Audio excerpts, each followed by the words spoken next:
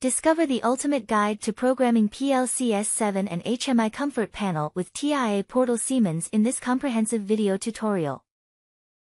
From downloading and installing the software to configuring hardware, creating historical trends, managing users, mapping PLC tags, and even simulating your projects, we've got you covered. Whether you're a beginner or an experienced programmer, this video will walk you through each step with clear instructions and helpful tips.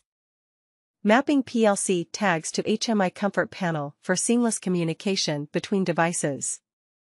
In order to ensure seamless communication between devices, it is crucial to properly map PLC tags to HMI Comfort Panel in the TIA portal Siemens.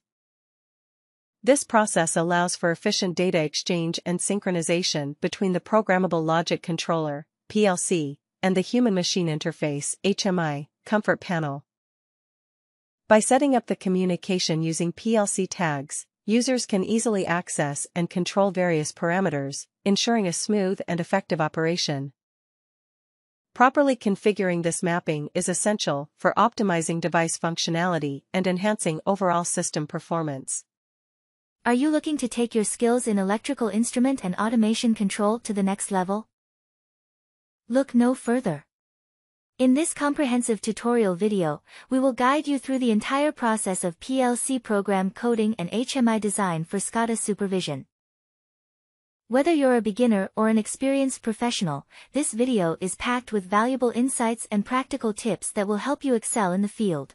We will also cover essential topics such as EPLAN electric software, oil and gas field applications, and industrial refrigeration.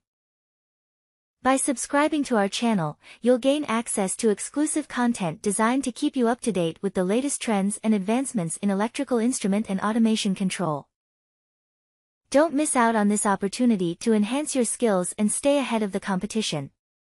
Hit that subscribe button now.